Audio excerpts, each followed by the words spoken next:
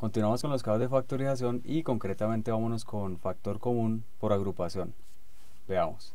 Bien, en este video, nuestro ejemplo 1, vamos a factorizar esta expresión AB más 5A más 2B más 10. Es muy importante que ya hayamos visto el caso de factorización factor común. Listo, el solito, el no por agrupación, sino factor común solo, ya lo sepamos factorizar muy bien. Y con ello este lo vamos a entender muy bien. Entonces, si ustedes se fijan, ya, ya entendiendo ese caso, el de factor común, aquí no hay un factor común para los cuatro términos. Porque, por ejemplo, digamos, aquí está la A, aquí también, pero aquí ya no. Aquí está una B, aquí está una B, pero aquí no. Esto acá hay un 5, este es múltiplo de 5, pero este no. Y este tampoco. Entonces, precisamente por eso es que se utiliza eh, la agrupación. Y bueno, ¿cuáles son las alternativas? Entonces, fijémonos que, por ejemplo, AB y 5A sería factor común, la A. Y 2B y 10 sería factor común, el 2 porque ambos son múltiplos de 2. Esa sería una alternativa, ¿listo? Tomar estos dos y estos dos por aparte. O la otra sería AB con 2B, que el factor común sería la B, y el otro 5A con 10, el factor común sería el 5, porque ambos son múltiplos de 5. ¿Cuál escogemos? La que queramos. Cualquiera de las dos funciona.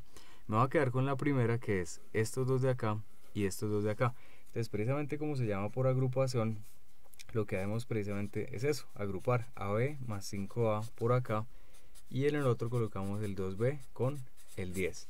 Listo, entonces el siguiente paso sería aplicar el factor común, el que ya sabemos, a cada paréntesis. En este caso, como habíamos hablado antes, sería la A. Entonces sacamos eh, la A como factor común y adentro ya sabemos que es. Esta A ya salió, nos quedaría la B. Y esta A ya salió, nos quedaría el 5, sería más 5. O la otra manera de verlo, A por B, AB. A por 5, 5A.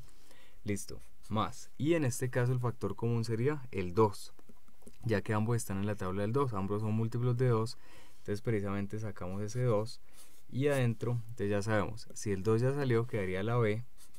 Y si de este 10 ya sacamos un 2, este 10 es lo mismo que 2 por 5, ¿no? Entonces quedaría un 5, ya que 2 por 5, 10. Y le conservamos ahí el más.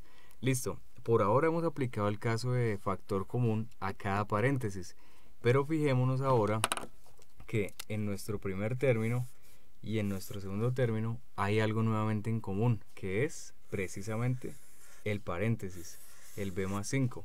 Entonces lo que hacemos en este caso de factor común por agrupación es nuevamente aplicar factor común que sería ese b más 5, ese paréntesis lo colocamos por acá y adentro en otro paréntesis los que sobran que serían este A y este 2 es decir A más 2 otra manera de verlo es que este B más 5 multiplicada por esta A quedaría A por B más 5 y este B más 5 multiplicado por 2 quedaría 2 por B más 5 listo y con ello esta sería nuestra respuesta final.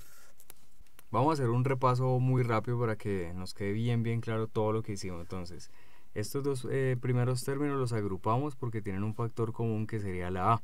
Estos dos los agrupamos porque tienen un factor común que sería el 2. Ambos son múltiplos de 2. Sacamos esa A, sacamos ese 2 utilizando factor común. Esto sí ya lo debemos conocer en el caso de factor común precisamente.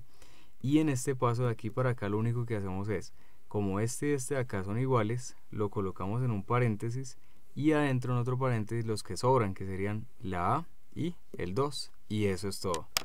Muchos éxitos como siempre y nos veremos en otros casos de factorización. Chao. Gracias.